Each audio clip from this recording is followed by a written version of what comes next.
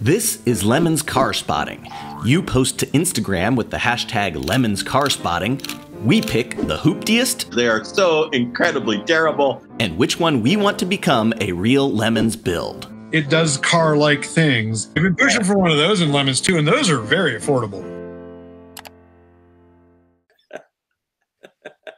Hey, it's Lemons Car Spotting with Nick and Jay. It's the program where you go onto Instagram, tag your photos of Lemons Car Spotting, and we find them, review 10 a week, and hand out two awards. Award number one, the hooptiest. Pretty self explanatory. Award number two, the Lemons car build. That's the car we want to actually see built into a real Lemons race car. Okay, here we go. Stop. Ah, that is uh you're doing hooptiest. yeah. Okay. All right. Uh, I am writing that down, and Okay. here we go. All right. Oh man. Okay. Well, Jeff Gates on the phone. Yeah, uh, there we go. Uh, this looks like one of your posts from Mr. Hoopygram, Day, uh, this Jay's alter ego. This is Ah. Hoopygram on Instagram, and this is Santa Cruz. This is every uh, day of the pandemic. I was walking my dog in a new neighborhood trying to learn Santa Cruz, and uh, Santa Cruz they're thick on the ground. Yeah. Well, you know, Mopars, I must say, I mean, of the classic muscle cars, they're certainly uh uh, their following is the weirdest. The people that are into them are the biggest freaks. But Yeah, I gotta yeah. say, the cars are the most interesting. Yeah, no, and the people, well, and biggest freak is a euphemism for most interesting. Yeah. I mean, you look at the Tom Hergerts and the Jeff Gateses of the world, and Yeah. they're way more interesting than the good guys cruise night Camaro owners that you Oh. usually see in muscle cars. Yeah. So what is this? A dart? It's a Dart, I think, or what? You know, they they put a whole bunch of nameplates. Chrysler always put a whole bunch of nameplates on the same goddamn car. So who really knows? But yeah, I like these. These, I guess they were compacts in the day. I'd Yeah. call them mid-size now. I like these way better than the big boats. Yeah, absolutely. Well, that's pretty cool. Perfect car for a California beach town. You know, in Santa Cruz, that the person bought it for the wrong reason. They bought it. Oh, it's a Slant Six. This is environmentally friendly. Not. Oh, Yeah, right. Right, right. yeah, exactly. the manufacturing process ended in 1964 and it is no longer polluting, Yeah, yeah, exactly. except for the times when it fires up and it pollutes all of the pollution. All right. Okay. oh man, check out check out the personalized plate. Oh, that's pretty good. That's got to be in demand. That's that's a level of initiative that would not be assumed from looking at the car. So I don't know anything about Fieros. This looks like a relatively late one. I'm guessing it's a 2M6. I think that's what the spoiler means. I don't really know much about Fieros either, but Yeah. love the basket wheels. You Yeah. know, highly underrated car. Basically, I a just- 358. I just saw Fast and Furious 9. Oh, And uh oh, really? yeah. And uh, you know, spoiler alert, you can shut this off if you haven't seen it yet. But uh, at one point, uh Tyrese and Ludacris are literally in space in a Pontiac Fiero. Uh, I was about to make a, a, a shark jumping comment, but now I think I need to see it. and my buddy leans over and he says, I forget why they're there. I- uh, a satellite. I, I don't know. I don't know. Uh, so yeah, recommended. All right. Yeah. Ah. Oh man, TR6. I was just at the DWA Cars and Coffee, or I guess you can't, for trademark reasons, say that. The DWA Morning Motors uh, Yeah. yesterday, which I never do. I mean, it's the first time I've been to something like that in 10 years. There was a dude with a TR6, same vintage, in red, same mini lights. It was spectacular. I, I really, really like these cars. They're terrible, but Yeah. God, they're good looking. Yeah, you know, I, I mean, I'm all else being equal, I'm a TR4 guy, which you know I think everybody is. But Yeah. it used to be that the TR4 was like five grand and the TR6 was two dollars. I don't think that's the case anymore. No, good TR6s have gotten really expensive, like Yeah. every horrible 70s, 80s car. yeah, they've gotten crazy, crazy expensive. I, I thought the, the the wheel size to body is spectacular on Yeah. this car. yeah, The great ratio. You know, good good Italian lines, good Michelotti lines on a crappy British car. yeah. Yeah, what's not to like? Yeah, I I I, I don't disagree with any of that. That's you know who's cool been car. hot for one of these for years is Jessica Laszlo, and every time Yeah. I see one, I forward it to her, and she's like, this would be a good candidate for a BMW straight six swap as as someone who has uh, somewhat experience with such a thing. Yeah. "Totally, totally." All right. What the is a La Forza? Oh, is that a La Forza? I would have said it was a lot, a giant Lada, but no, you're right. Well, yeah, I thought that too. And I also thought that the awning for the uh, building behind it was like a, a was like a hipster roof tent. tent. Yeah, Yeah. yeah. Oh, baby. You know, these were like four thousand dollars for a while. Are are they still? Well, maybe they are. I don't think any of them are still running and driving, but I mean, they may, don't these just have a Ford 302 in them? Like, what would Yeah. make them not run? I mean, it's sort of a rhetorical question. else, yeah. there's four thousand parts in a car, of which three thousand nine hundred ninety nine are still not Ford three hundred two. But I don't know, man. These were pretty spectacular. They Well- had the right idea. They were just thirty years too early. Yeah, you know, that's a really good point. Like everybody, you know, with a tech job these days drives a Range Rover. Um, Yeah. and you know, Yeah, if a all. LaForza, if a Yeah. LaForza was around, they'd drive that. Yeah, big, big fat thing, leather interior with a Ford V8. I mean, Yeah. what else is a Range Rover? What's not what's not to like? Yeah, I wonder how much they weigh, not to get Oh. ahead of ourselves. good question. Well, probably when they were made, they weighed a lot more than they weigh now. What with rough stand all? yeah, So, fair enough. boy, they All were not handsome. Sadly, you know, they could have made it look like anything, and they were pretty, they kind of look like a Nissan Axxess. Yeah, yeah, it's true. Well, I I had the same Lada reaction. There must be a proportional similarity. So Yeah. Yeah, yeah, pretty good though. Pretty good. Pretty I good. admire whoever's working that. yeah. All right. it's a it's a an Echo. Echo. Yeah, it's an Echo art car, and, and I mentioned this before on on Car Spotting, but you know, for all of the interesting things people do with their own appearance, what with clothing, hair color, body piercings, whatever, everybody drives a silver, Yeah. you know, mid-size SUV, and uh, I think that the uh, if you have a tattoo, then your car should be required to look like this. Yeah, this well. is this is pretty good. This is pretty good. I had some friends over the other day, and they have about a 20 year old Yaris four door automatic, which I guess was the successor to this car. I don't Yeah. know. Yeah. And um, they love that thing. You could offer them a Rolls Royce Cullinan, and they would say no. They love their hoopty ass automatic 200,000 mile old Toyota. So I get it. I I did some research. I was looking for a car for my uh, notoriously penny pinching uncle, and uh, he Oh yeah, he he cheated that guy. yeah. And so I was looking for an engine that requires like the least amount of maintenance. And it was this little 1.5 in the Echo that then carried over to the Yaris and the Scion XB Yeah. and all these other cars. They'll just run and run and run. So, Yeah. Yeah. Uh, Pretty good stuff. yep. All right. Uh, good God, man. Yeah. Man, I never realized. Really, I guess until looking at this picture, they changed this body around. they You sure did. All the same molds, but it's not. That's actually a little Yeah. different Yeah. than the Loewy version. It's squarer. It's a little taller around the fenders. I think this is ugly. You'd have it's hella butt ugly. Yeah. You'd have to see uh God, you'd have to see them side by side. And interestingly enough, I know exactly a place where you can do that, which is uh, my neighbor, which has who has five of them. Most Oh of them God. being this weird later version, uh, but one of them being the original. So one of these days, I'll have to see them side by side and take notes. Why would you do that? Not not the collecting five. I mean, that's an unfathomable question. No, no, but like you buy the rights to a shape.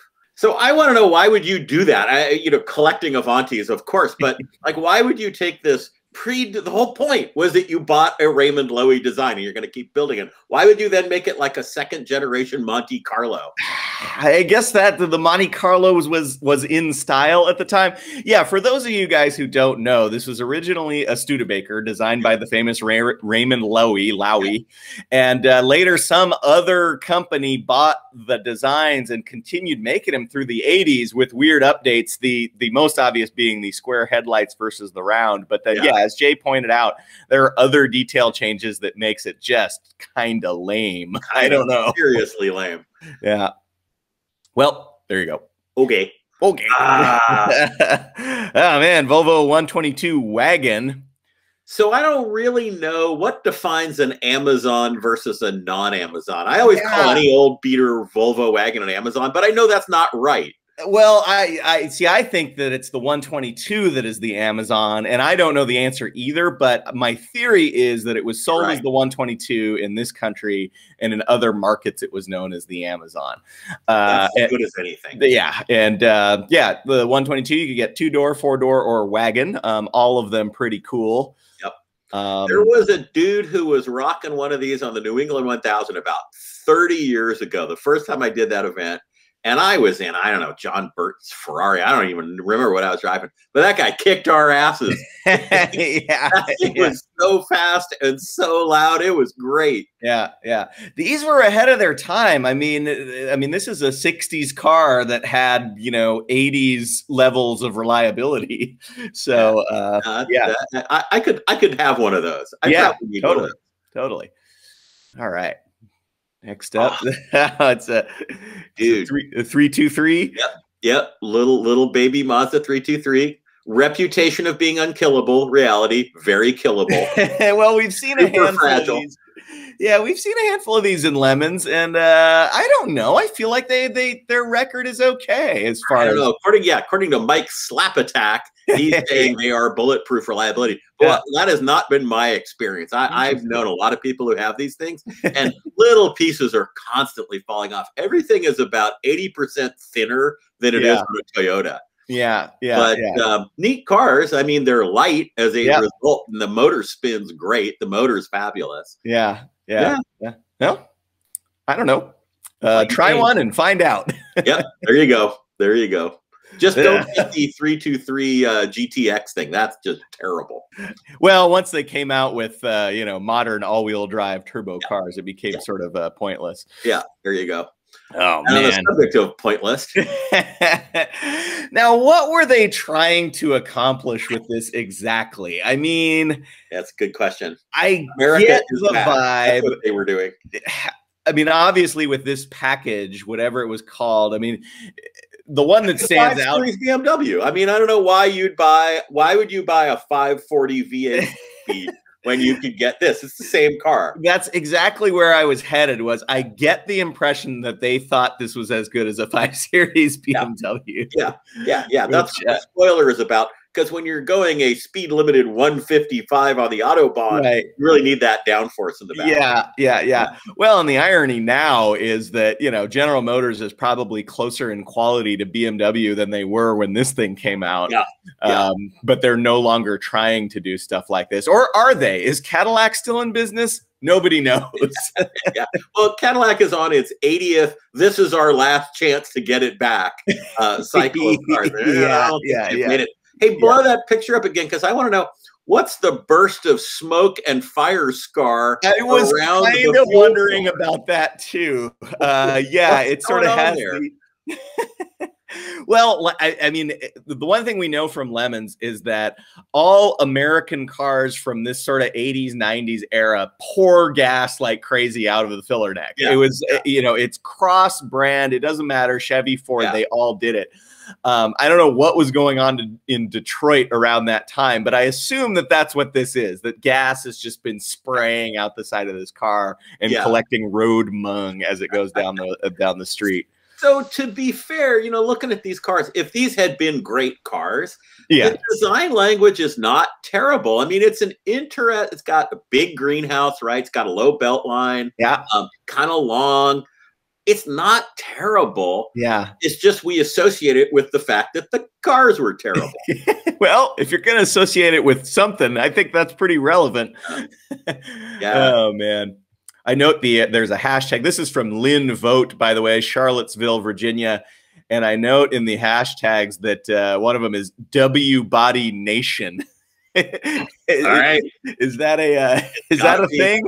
There's a dude out there with a W body tattoo as we're speaking. Yep. Well, there's a lemons tattoo, so you know there's W body ones out there.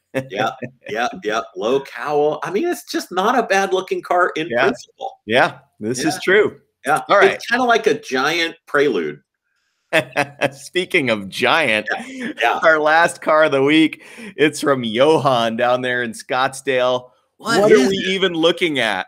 What is it? It's a Mercury, I'll bet you. Whenever there's a car you can't identify from this area, era, it's always a Mercury. I was gonna say the same logic, but that it's an AMC.